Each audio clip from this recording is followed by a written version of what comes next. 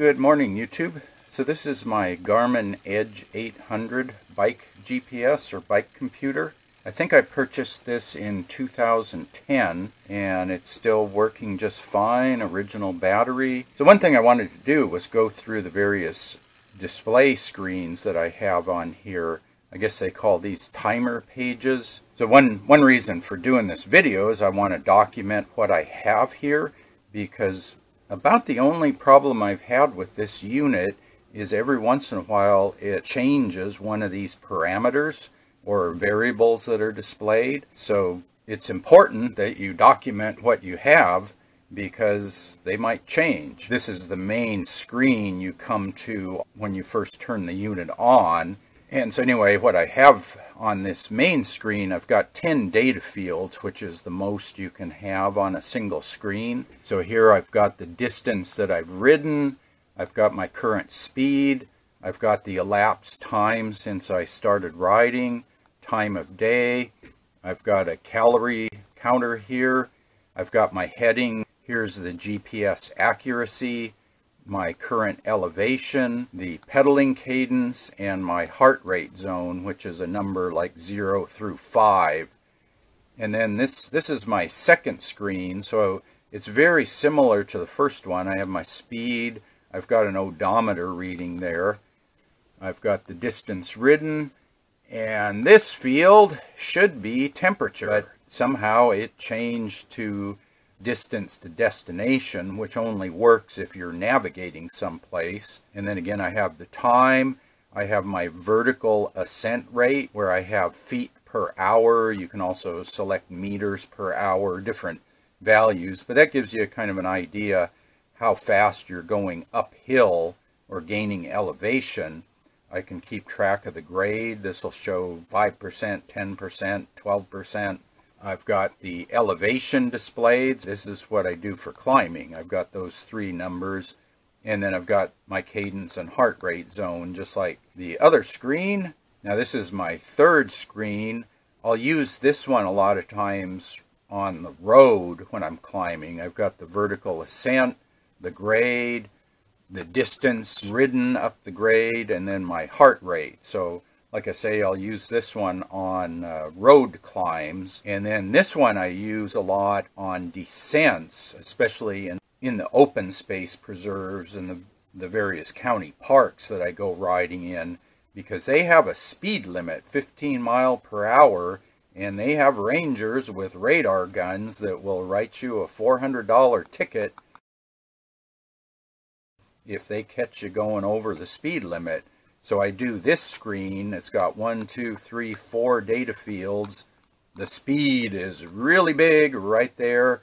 I also put my heart rate on there, uh, the elevation and the grade.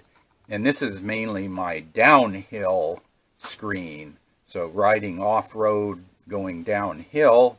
And then this is kind of a similar one. For here, I'm just trying out different combinations of data fields. You can have quite a few of these screens. This one has speed, elevation, and distance, just real basic. And one of the reasons for having the larger display here is one, so you can see it easier mm-hmm. compared to like one of these screens. Like if you go back here, your speed is, is a tiny little number like that, where if you go over here, the speed is really big. And if you're riding down a hill and your handlebars are shaking and the GPS is shaking, you need to be able to see that number so that you can slow down and avoid a ticket.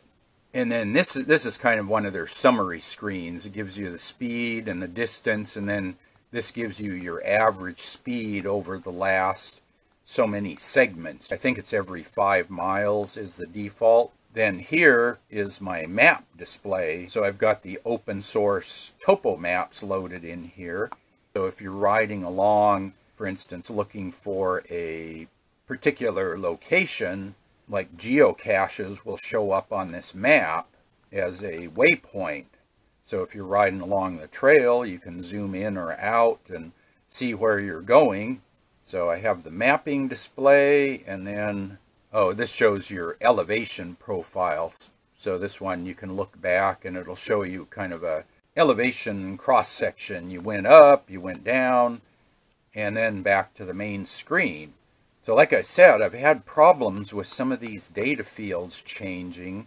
One problem I tracked down a cause, so sometimes I would use this GPS walking or hiking. So I would start the timer and I would put this in my pocket and apparently there'd be enough random clicks on the touch screen to go in and change a parameter and I'll show you how complicated that is. It's pretty hard but it'll go in and change one of these numbers. So that's why it's important to document what you have here because it can change. So to fix the random touchscreen issue, if you have this in your pocket, go over here and just do a short click on the power button if you do a short click, it'll give you your current bike profile that you have loaded. So I have profiles for my different bicycles. That way it keeps track of mileage for each bike and it pairs up with the cadence and speed sensor on each bike. But to prevent the random touchscreen things, you can go in here and lock the screen.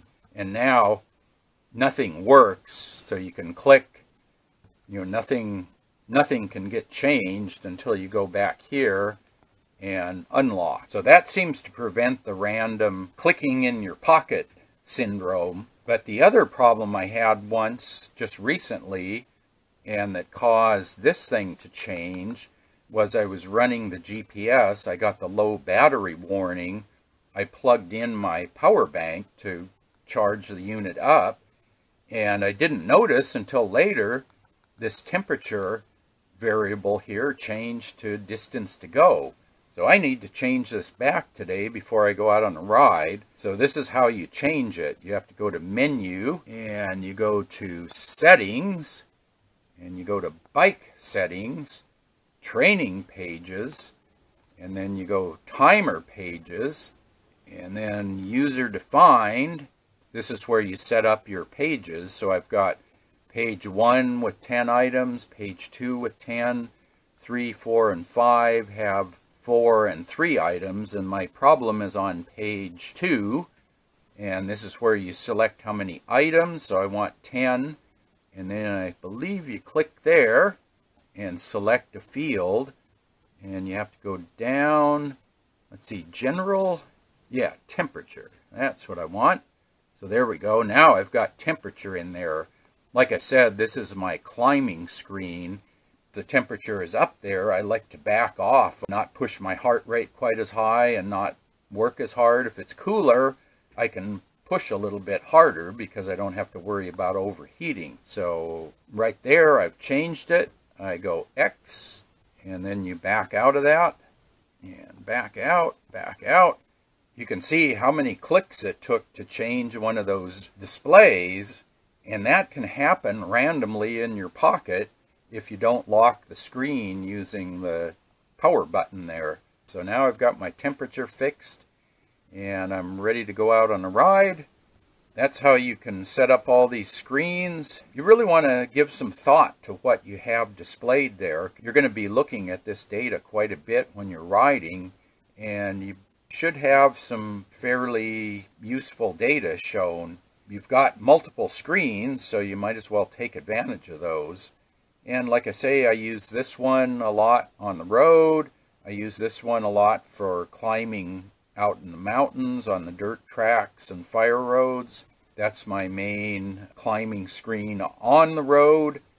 And then I'll use either this one or this one for descending when I'm worried about Rangers with radar guns. And the only thing I wish Garmin would do is let me program a beep that if I go over 15 miles an hour, beep and let me know so that I can slow down. I've, I've requested that of Garmin, but I guess where they're located out in the Midwest, they don't have to worry about that. But out here, $400 ticket if you're going over the speed limit, 15 miles an hour, and you could easily pay for one of these with a $400 ticket.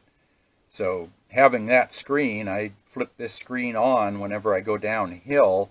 I have it as big as possible so I can see the mile per hour and ride the brakes. Those Rangers, they hide in just like on the road, they've got speed traps. I know where most of them are, but, but anyway, hopefully that's a help. If anybody has any other questions on how I use this GPS, post up in the comment section below, and I'll, I'll put some other videos over here on the left side. And as always, thanks for watching.